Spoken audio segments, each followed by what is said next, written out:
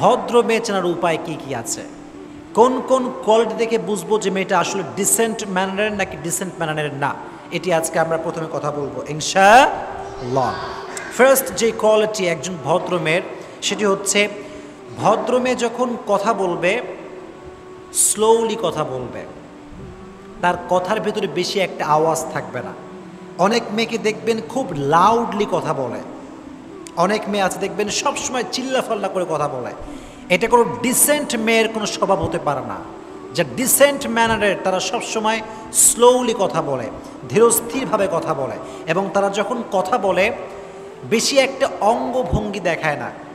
অনেক মেয়ে দেখবেন বেশি ঢং করে, এরকম মেয়ে আছে না নাই? বেশি ঢং করে, এটা ডিসেন্ট ম্যানারের কোনো মেয়ের স্বভাব হতে পারে না। যারা ডিসেন্ট ম্যানারের তারা সবসময় স্লোলি কথা বলবে, আস্তে আস্তে কথা বলবে। তারা ভদ্রমের প্রথম যে কোয়ালিটি আমরা পেলাম, তারা অলওয়েজ আস্তে আস্তে কথা বলবে এবং তারা কথা বলার সময় অঙ্গভঙ্গি বেশি করবে না। এটি হচ্ছে number one quality number two যে কোয়ালিটি সেটি হচ্ছে এই, ভদ্রমেয়েরা কখনো পুরুষের চোখে চোখ রেখে কথা বলতে পারবে না। মনে করেন আমি একজন মেয়ের জন্য অপরিচিত। তো সেই মেয়েটা যখন আমার সামনে আসবে যদি যদি সে ডিসেন্ট ম্যানারের হয় যদি সে সভ্য মেয়ে হয় আই কন্ট্যাক্ট করতে পারবে না। এটা ভদ্রমের একটা সুন্দর কোয়ালিটি যে ভদ্রমেরা কখনো চোখে চোখ রেখে কথা বলতে পারে না, বিশেষ করে অপরিচিতদের সঙ্গে। এটি হচ্ছে দুই নাম্বার কোয়ালিটি আর এক্ষেত্রে আরেকটি বিষয়ে কথা বলতে চাই, সেটি হচ্ছে এই, ভদ্রমেয়েরা দেখবেন যে প্রায় সময় কথা যখন বলে, মাথাটা নিচের দিকে রেখে কথা বলে। এটা হচ্ছে ভদ্রমেয়ের স্বভাব। তো দুই নাম্বার কলেজ যখন ভদ্রমেয়েরা কথা বলে আই কন্ট্যাক্ট করতে পারে না, চোখে চোখ রাখতে পারে না। আর আপনারা বলেন তো, গায়ের মাহরাম কোনো পুরুষের চোখে চোখ রাখা, এটা কি হালাল নাকি হারাম? হারাম মাশা আল্লাহ দুই নাম্বার। তিন নাম্বার হচ্ছে, একজন ভদ্র মেয়েকে যাচাই বাছাই করতে হলে তার ড্রেস দেখতে হবে। পোশাক দেখতে হবে। একটা পোশাক, একটা মেয়ে কতটা কোয়ালিফাইড একজন মেয়ে কতটা সভ্য, মার্জিত, সুশিক্ষিত, এটা তার পোশাকে শোভা পায়। যে মেয়েটা জিন্সের প্যান্ট পরে টি শার্ট পরে, টাইট ফিটিং, তাকে দেখলে মানুষ বোঝে সে আসলে ইসলামিক মাইন্ডের হতে পারে না।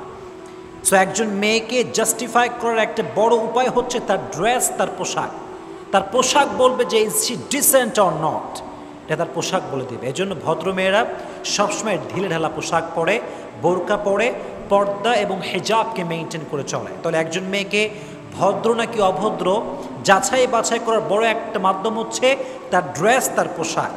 যদি সে সুন্দর, শালীন পোশাক পরে, ঢিলাঢালা পোশাক পরে, সে বোঝা যাবে যে সে একজন ভদ্র মেয়ে এটি হচ্ছে তিন নম্বর উপায়। চার নম্বর উপায় হচ্ছে ভদ্রমেয়েরা সাধারণত সেলফ সেন্টার্ড হয়, আত্মকেন্দ্রিক হয়। আপনি দেখবেন ভদ্রমেয়েরা বাসার থেকে বেশি একটা বের হয় না। মাসের পরে মাস হয়ে যায়, সপ্তাহের পরে সপ্তাহ পার হয়ে যায় কিন্তু ভদ্রমেয়েরা বাসার উপর থেকে নিচে নামেই না। বাংলাদেশে এমনও অনেক মেয়ে আছে যারা সপ্তাহের পরে সপ্তাহ বাসার ভেতরে থাকে, রুমের ভেতরে থাকে, প্রয়োজন ছাড়া তারা বাইরে বেরই হয় না। অনেক মেয়ে দেখবেন যে বাসার পাশের যে এলাকা আছে, ওই এলাকার নাম কি তাও সে জানে না। এতটা সভ্য, এতটা ভদ্র এতটা ভদ্র যে আশেপাশের এলাকার নামও সে জানে না, কখনো সে বের হয় না, প্রয়োজন ছাড়া। তাহলে ভদ্রমের একটা বড় কোয়ালিটি হচ্ছে তারা সেলফ সেন্টার্ড হয়, আত্মকেন্দ্রিক হয়, তারা প্রয়োজন ছাড়া বাহিরে বের হয় না। এজন্য মা বোনদেরকে বলব, যারা সকালে একবার বাজারে যান, বিকালে একবার বাজারে যান, এই অভ্যেসটা বাদ দিয়ে দেন। এই অভ্যেসটা অনেক খারাপ একটা অভ্যেস। এই জন্য মা বন্ধুকে বলো বাসা থেকে বেশি এটা বের হবে না, কারণ বাইরে ফেতনা আছে। অনেক ফেতনা আপনি জুড়ে যেতে পারেন। তাহলে চার নম্বর কলটি হচ্ছে ভদ্র মেয়েরা সেলফ সেন্টার্ড হয়, তারা সবসময় বাসার ভেতরে নিজেকে গোপন করে রাখে প্রয়োজন ছাড়া বাহিরে তারা বের হতে পারে না। এটি হচ্ছে চার নাম্বার। পাঁচ নাম্বার হচ্ছে ভদ্রমেয়েরা কখনো স্টার জলসা বা জি সিরিয়াল, কি কি আছে না এইসব এই টিভিতে দেখায়। ভদ্র মেয়েরা ভদ্র ঘরের মেয়েরা এই সমস্ত সিরিয়াল দেখতে পারে, এটা দেখতে পারে না। এটা ভদ্র মেয়ের স্বভাব না, বরং ভদ্র মেয়েরা দেখবেন সবসময় বই পড়ে। বই পড়ে তারা, ফ্রি টাইমে বই পড়ে কিংবা কোনো একটা আলোচকের লেকচার শোনে কিংবা তার কবিতা লেখে কবিতা পড়ে। কিন্তু ভদ্র ঘরের কোনো মেয়ে কখনো স্টার জলসা কিংবা জি টিভি জি সিরিয়াল দেখতে পারে? এটা ভদ্রমের স্বভাব হতে পারে না। এটি হচ্ছে পাঁচ নাম্বার। ছয় নাম্বার ভদ্রমের স্বভাব হচ্ছে কখনো সে হিংসুক হয় না। মনে রাখবেন, হিংসার প্রবণতা পুরুষদের মাঝে যেই পরিমাণ আছে, তার চাইতে মেয়েদের মাঝে বেশি আছে। মেয়েরা বেশিরভাগ ক্ষেত্রে তারা হিংসা পরায়ণ হয়, প্রচুর পরিমাণে হিংসাত্মক মাইন্ড তারা বিলং করে। তবে সব মেয়ে না, কিছু কিছু মেয়ে। আর এই হাসাদ কিংবা বিদ্বেষ এতটা খারাপ, আল হাসাদ তাকুলুল হাসানাত কামা তাকুলুন নারু আল হাতব হিংসা মানুষের আমলকে এমনভাবে জ্বালিয়ে পুড়িয়ে ছাড়খাড় করে দেয়, যেমনভাবে আগুন কাঠকে পুড়িয়ে জ্বালিয়ে ছাড়খাড় করে দেয়। এই জন্য হিংসা বড় মারাত্মক জিনিস। কোনো ভদ্র ঘরের মেয়ে হিংসার মতো খারাপ স্বভাব বিলং করতে পারে। ছয় নাম্বার। সাত নাম্বার, ভদ্র মেয়েদের বন্ধু বান্ধব বেশি হয় না। কিছু কিছু মেয়ে আছে, দেখবেন সাতটা, আটটা, দশটা পর্যন্ত বান্ধবী।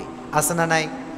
হায় রে, খালি আড্ডা দিয়ে বেড়ায়। একবার পার্কে যায়, একবার ওই চিড়িয়াখানায় যায়, একবার পর্দা গার্ডেন যায়, সবগুলো দল বেঁধে যায়। সেলিব্রেশন করে, বার্থডে সেলিব্রেশন করে, অমুকের ম্যারেজ ডে অমুকের বিবাহবার্ষিকী অমুকের জন্মদিন, ধুমসে চলতেছে। এটা ভদ্র মেয়ের স্বভাব না। ভদ্র মেয়ের বন্ধু বান্ধব দশ বিশটা হয় না। বন্ধু হবে খুবই কম but they are educated and they are qualified বেশিরভাগ শিক্ষিত হয় মানে ভদ্র মেয়েদের বান্ধবী হয় শিক্ষিত। অশিক্ষিত যে মূর্খ, যে কিছুই বোঝে না, ইসলাম বোঝে না মানুষ বোঝে না, সমাজ বোঝে না। এমন কোনো মেয়ের সঙ্গে কোনো ভদ্র ঘরের মেয়ে বন্ধুত্বের সম্পর্ক করতে পারে? না।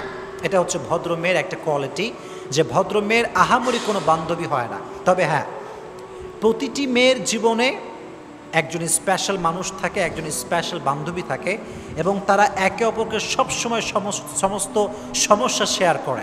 আন্ডারস্ট্যান্ডিংটা ভালো হয় কমিউনিকেশনটা ভালো হয়। বন্ধুত্বের সম্পর্ক অনেক স্ট্রং থাকে।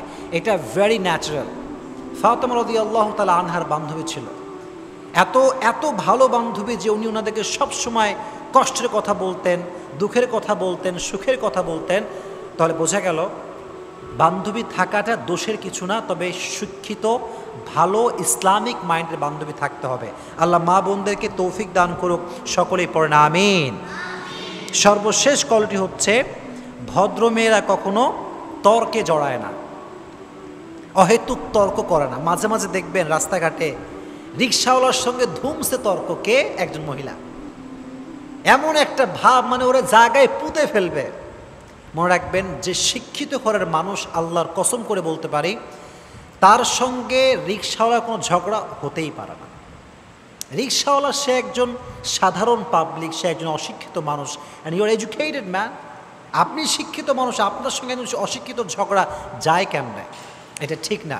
এই জন্য দেখবেন, ভদ্রমেয়েরা সবসময় এই সমস্ত ঝগড়া, মারামারি, কিলাকিলি এগুলোর ভিতরে ভদ্রমেয়েরা থাকেই না। আল্লাহ তালা প্রত্যেকটা নারীকে এই ভদ্রতা এবং সভ্যতার যে কোয়ালিটি আছে, সবাইকে আল্লাহ বিলং করার তৌফিক দান করুক। আমরা সকলেই পড়ছি, আমিন।